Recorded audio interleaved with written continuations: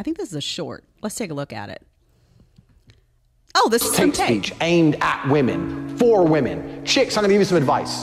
You wanna get the man of your dreams? Women have basically no idea what men find attractive. You all live in a dream world because if women knew what men wanted to see and hear, you could have any man you wanted. I see chicks out here going, I can't get a good man. Then you're a dumbass because it ain't hard. Let's start with the basics. No matter where you've been, or whatever amazing things you've done, or what expensive cars you've been in, etc., shut up. Because when you talk about those things, all you're really saying is some other dude. This is the Yeah. first tape speech. So this is fantastic.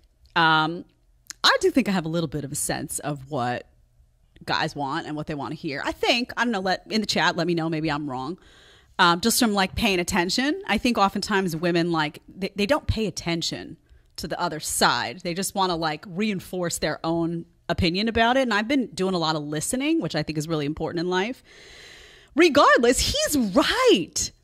There is nothing worse than that woman who constantly brings up reminders of another guy. She's with you now. Everything seems to be going well. And now she's got to inject, oh, I was in this great, you know, car once. It was so fast. It was so exciting. You know, that guy sitting there thinking, who took her in the car? Okay, great. So that box is checked. Next. I don't need to be doing that. I guess she did it already. Oh, yeah. I once stayed in this amazing bed and breakfast. We stayed for five days and we had the most amazing time. All you've just managed to do is put in your new boyfriend's head images of you and your other boyfriend and all the nice things he did for you and all the intimacy and all that. Like, guys don't want to think about that.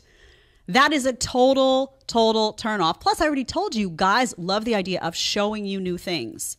They love that. They love the idea of being able to do something that puts a smile on your face, take you on that amazing trip, show you things you haven't seen before. If you're starting to list a checklist of all the stuff that the guy before them did for you, he's going to be like, oh, what's left? Did you do it all already?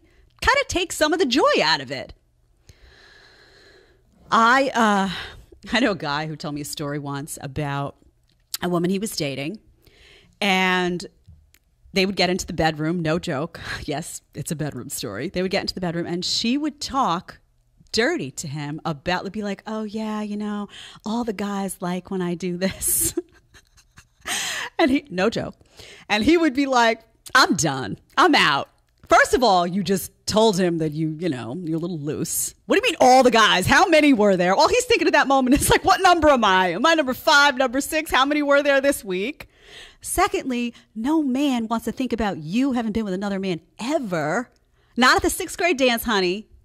Not at the prom in high school. Never, let alone hours before they got there and maybe hours after they leave. No, no. And I think women do this sometimes because they think that it's going to make the other guy jealous. Like, oh, they're going to get jealous because they're going to have to compete, right? If I tell him that I've been in the nice car before, I've been in the bed and breakfast before, or other guys like when I do this, they're going to get territorial and jealous. That's not how it works. It's a turn off. They don't get jealous as in, oh, yeah, I need to do better now because she told me that the other. No, it's like, why is she bringing up another guy to me? It feels like a mind game.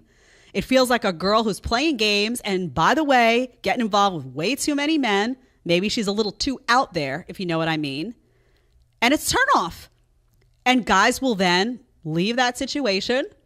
They won't want to sleep with you. They won't want to be entangled with you. And they'll go find someone who makes them feel good and who isn't afraid to let that guy make her feel special. And you know what? Maybe she also had another guy in her life years ago who did nice things for her.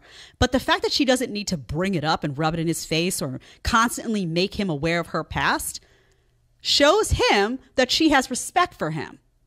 So this is disrespectful, this stuff. This stuff that women do is disrespectful. It's not appealing, it's not attractive, it's disrespectful. If you want to watch the full episode, you're going to click right here. And if you want to ask me a question one on one, you want to do a one on one FaceTime with a group of your friends, whatever you want, you need to download Minnect right now. Click right here and let's get talking.